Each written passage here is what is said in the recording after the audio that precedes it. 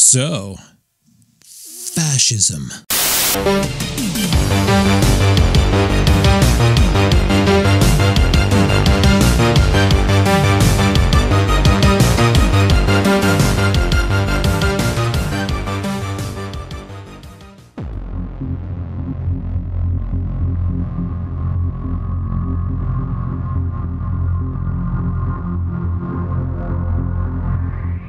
Last video, I read some of Italian dictator Benito Mussolini's writings and definitions of fascism without any commentary or analysis. That was not easy. In theory, you should have seen the first video, but I recognize that political writings are hard to get through.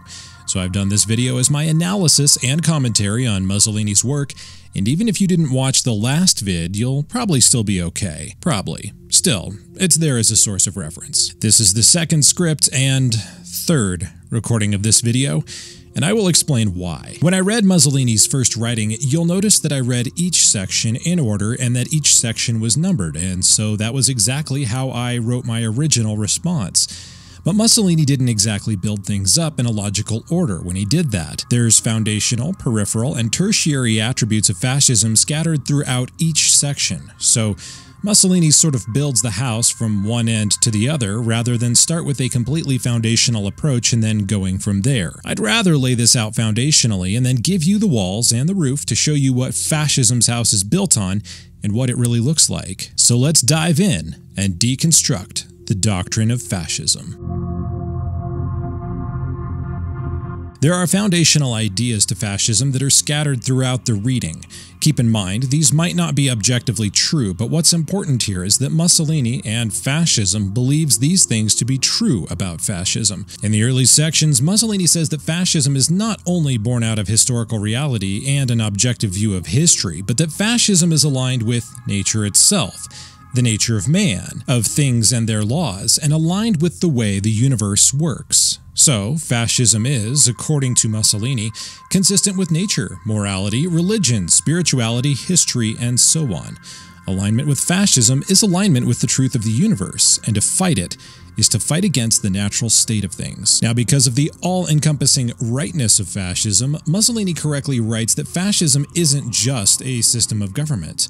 It's also a system of thought. And as a system of thought, it's good enough for, well, everything. Mussolini puts it this way Fascism is a totalizing concept, and the fascist state, the unification and synthesis of every value, interprets, develops, and potentiates the whole life of the people. In other words, fascism is so complete and thorough in its evaluation of human life that there's really not much that's outside of the interest of fascism. Fascism isn't just interested in the political part of your life, it's interested in all of your life and there is no possibility for opting out. But fascism isn't just interested in being disciplined and orderly and organized for the sake of itself. No, it has a manifestation in mind, an apparatus, and an entity that is the expression of all of the values that Mussolini espouses. The manifestation of these fascist values is found in one place, and one place only the state. The state, the state, the state, the state, the state. Let's just never speak of that.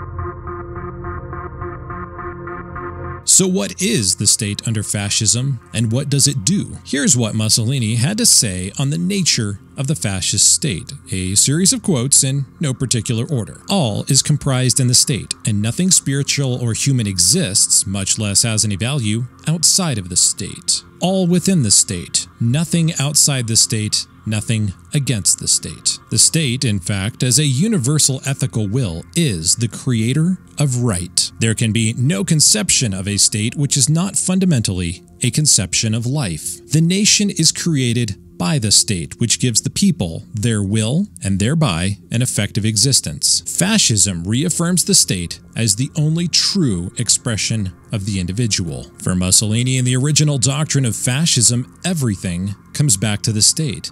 Now, this has significant impact on concepts like individualism, religion, democracy, capitalism, economics, race, class, and so on, and we'll be diving into some of those very shortly. But if you remember from the end of the first video, I encouraged you, as the viewer, to consider what Mussolini's big idea was, and part of that big idea is the totality and the completeness of the state. For Mussolini, the state isn't the main thing. The state is everything. In the section The Role of the State, Mussolini writes that, quote, the fascist state, the highest and most powerful form of personality, is a force.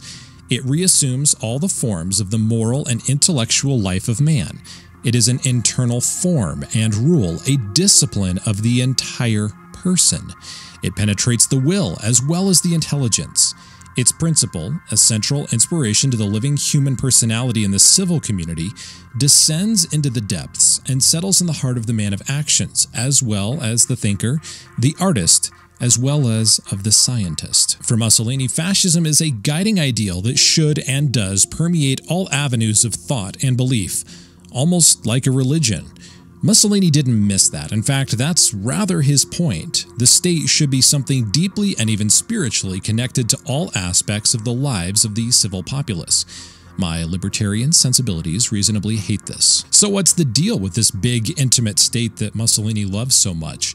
Why is this state his main focus and idea? Well, this gets into the why, and why arguments are causal arguments, so I will lightly and carefully state that from my reading of this work and others by Mussolini, it seems that he was in love with the idea of greatness, of action, and making things happen, of making history. He was a pompous man, infatuated with his own intellect, and in love with the idea of being destined for historical greatness, and thus his ideas are often grandiose and fantastic. He wrote that, quote, man without a part in history is nothing. The state then gives its people an effective existence to make their mark on history. Mussolini had ideas about class and wealth disparity, about organized and productive society, and so on, and all of these ideas are only possible through state power, through a government making or even forcing these good things to happen. For Mussolini, a man or an idea apart from the state was not just powerless, but therefore also meaningless. And that's because fascism can conceive of no question where the state is not the answer, of no problem where the state is not the solution, of no lack where the state is not the great supplier. For any deficiency, the state is sufficient. Fascism, as Mussolini originally conceived it, is the overarching completeness of the state as the whole function and end goal of a society, a totalitarian view of state centric beliefs that essentially yields a form of state worship. Fascism is the religion, the economics, the politics, and the belief in and of the omnipotent state to make things right. So, what does this mean for various avenues of thought? How does fascism relate to concepts like individualism or liberty and democracy? And what does fascism say about socialism, religion, and race? Mussolini addresses these ideas in the doctrine of fascism, and so that is what we will try to answer next. And we'll start with the concept of individualism. Individualism is shunned under fascism because fascism is a form of collectivism, and like many or most forms of state collectivism, opting out is not possible. But fascism is not merely collectivist, it is also, quote, anti individualistic. The fascist conception is for the state, it is for the individual only insofar as he coincides with the state. Mussolini saw classical liberalism as something that affirmed the interests of the individual at the expense of the state. He rejected this idea, saying that fascism reaffirms the state as the only true expression of the individual. In other words, fascism supports your individualistic ideas and desires as long as they coincide or support or benefit the state. But ultimately, your existence is and should be one of what Mussolini calls self abnegation, a selfless life of duty where you sacrifice your particular interests to the collective. He wrote that the citizen of the fascist state is no longer a selfish individual who has the antisocial right of rebelling against any law of the collectivity. Mussolini's flawed idea here is that whatever is done is done because it's good first and foremost for the state, and therefore it will also be good for the individual. What's good for the goose is good for the gander. This is very important to realize, and there's a reason we started with individualism, because in a way, it's very foundational to all the concepts that we will address next. Under fascism, individuals who are not fully invested in what the state is doing are a drag on the efforts of the collective state. Thus, the state needs to be all powerful and superior to the individual because it ensures that every individual only does what's best for the collective in the most efficient way possible. Individualism leads to wrong choices against the collective, at least in the view of fascism. This is why fascism is not only anti individualistic, but it's also why it's totalizing and totalitarian. It must control the potential bad decisions that individuals choose outside of state interests, and it achieves this control by either indoctrination or by force. Now, we can't really talk about the expression of individualism or the lack thereof under fascism without talking about liberty, and Mussolini actually ties these ideas together in some of his writings. Liberty is your freedom to do things, to exercise your rights and express your individualism in a way that you see fit. And in the eyes of fascism, that is a very dangerous idea. So, what Mussolini does here is redefine what real liberty is, and he does the same thing with other concepts, as we shall soon see. But regarding liberty, Mussolini wrote that, quote, If liberty is to be the attribute of the real man and not of the scarecrow invented by individualistic liberalism, then fascism is for liberty.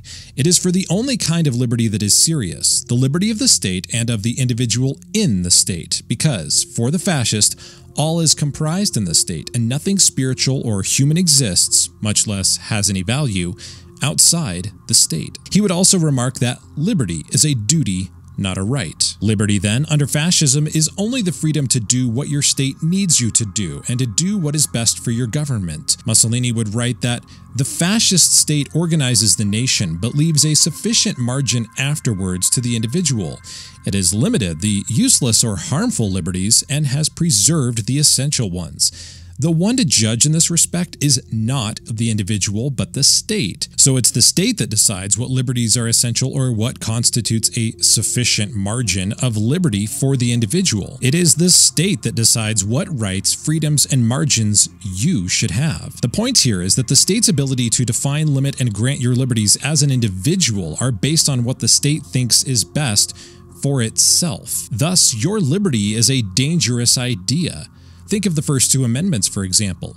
Your ability to speak freely with any idea you wish and your freedom to own a weapon and defend yourself have some potential to be used for state interests, but they have far more potential to not be used in state interest or even be used against state interests. You might speak freely on the idea of limiting state power or tax cuts and rally people to your cause. You might be harder to control if you're armed.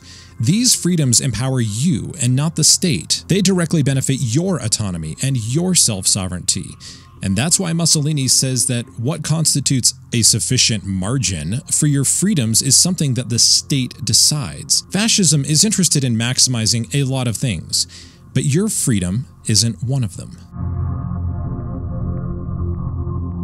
I'm sure you figured out by now that fascism isn't very democratic at all in practice, but Mussolini wants to counter argue that it's really the purest and best form of democracy. He does this by redefining what democracy actually is. He wrote that, quote, the state is not merely the numbers or the sum of individuals forming the majority of a people.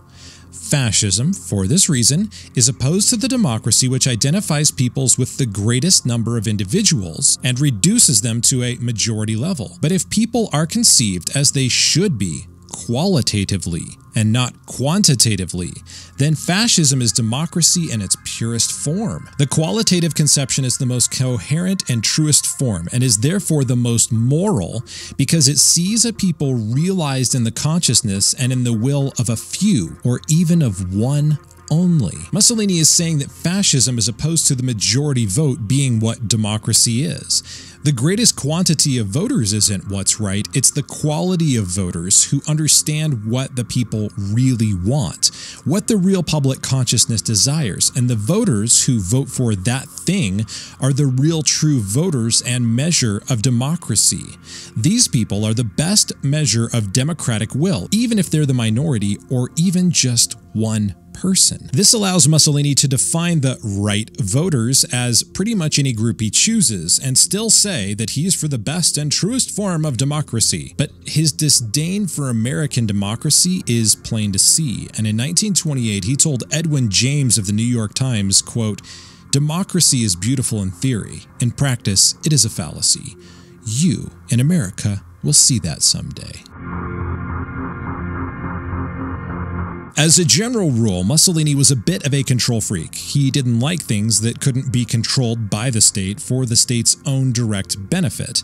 This applies to capitalism, among other things. Now, in the original doctrine of fascism, Mussolini doesn't go after capitalism explicitly, but rather implicitly. Yet in other writings and statements, it's plain to see that he really isn't a capitalist at all, so consider this a freebie because A, it's relevant, and B, I love you guys. Anyway, in the early 1930s, Mussolini stated that the capitalistic method of production is out of date. So is the doctrine of laissez faire, the theoretical basis for capitalism. Mussolini saw Italy as having a form of capitalism, but he also noted that, quote, Italy is not a capitalist country according to the meaning now conventionally assigned to the term, unquote. In 2015, Lawrence Samuels wrote that, quote, on numerous occasions, Benito Mussolini identified his economic policies with state capitalism, the exact phrase that Vladimir Lenin used to usher in his new economic policy. This is likely because Mussolini was a longtime socialist, and socialism was a belief system that continuously influenced Mussolini in some form or fashion. So what did state capitalism under fascism look like? The answer to that is very state-owned, run, and controlled. Thus, it stands to reason that Mussolini once boasted that three fourths of the Italian economy, industrial or agricultural, is in the hands of the state. The economy of the state is so vital to state success that the state had to control the economy. But how far did this control extend, and practically what did it look like? Lawrence Samuels wrote about this in an excellent article entitled The Socialist Economics of Italian Fascism. Here's a passage that explains it better than I can. As the effects of the Great Depression lingered, Italy's government bailed out failing businesses and seized the stock holdings of banks which held large equity interests. The Italian state took over bankrupt corporations, cartelized businesses, and increased government spending, expanding the money supply and boosted deficits. Mussolini acknowledged fascism's socialist roots and influences. Among those he acknowledged as influencing fascism were French Marxist Georges Sorel and French revolutionary unionist Hubert Lagardelle. Under the fascism of the corporate state, planning boards set product lines, production levels, prices, wages, working conditions, and the size of firms. No economic activity could be undertaken without government permission. These measures restricted new business from forming or expanding. Moreover, levels of consumption were dictated by the state and excess incomes had to be surrendered as taxes or loans. By the late 1930s, about 80% of available credit was controlled directly or indirectly by the state. With the passage of the Bank Reform Act in 1936, the Bank of Italy and most of the other major banks became government entities. One year earlier, the confiscation of capital had begun with state edicts requiring all banks, businesses, and private citizens to surrender their foreign issued stocks and bonds to the Bank of Italy. Mussolini doubled the number of Italian bureaucrats under an enormous bureaucracy of committees. By 1934, one Italian in five worked for the government.